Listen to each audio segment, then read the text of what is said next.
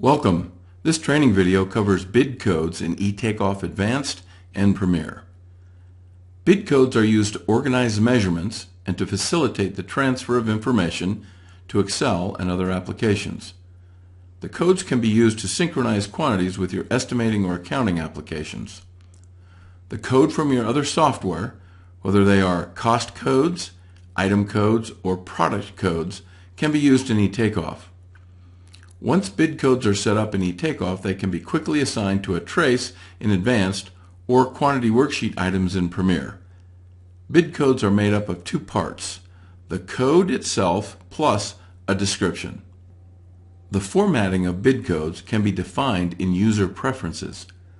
Click the Settings tab and select User Preferences. Click the Bid Codes tab to review the default settings. You can define minimum and maximum lengths, allow or require digits, letters, spaces, and special characters. We have found that the default settings work best for most users. To add bid codes or edit the current bid codes, select the Settings tab and click Edit Bid Codes. The left side of the window is the list of current bid codes. If this is the first time using this feature, there will be no bid codes in this window. On the right, you can choose to add, edit, delete, or paste.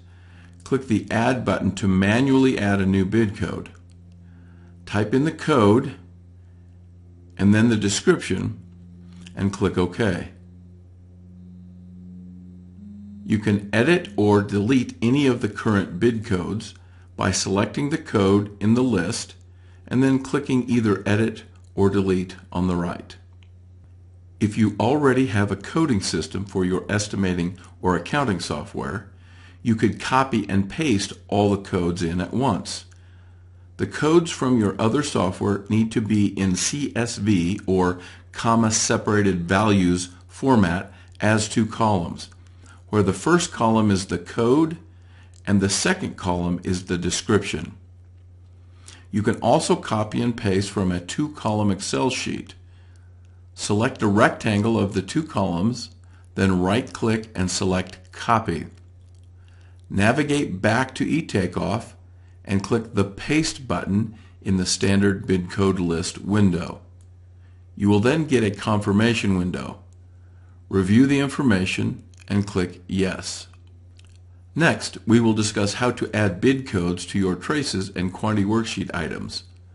First, Let's discuss traces in eTakeoff Advanced. Click the Settings tab and select the Edit Traces button. Now select a trace to use and double-click the trace or right-click and select Edit Trace.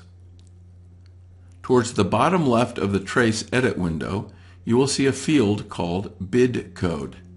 You can enter a code manually or click the button to select from the standard bid code list. By default, the window shows all standard bid codes.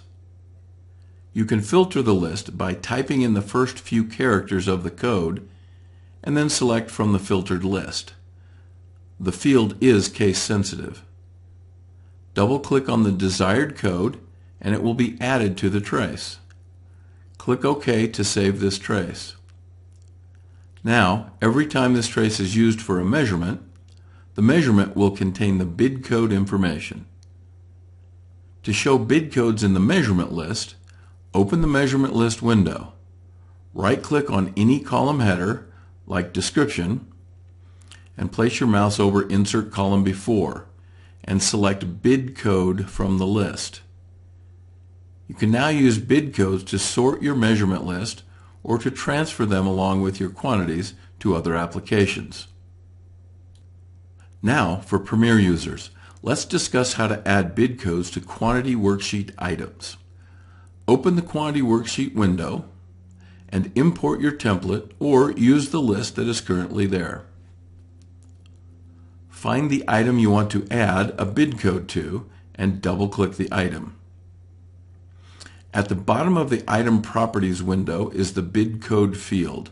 You can enter a code manually or click the button to select from the standard bid code list. By default, the window shows all standard bid codes.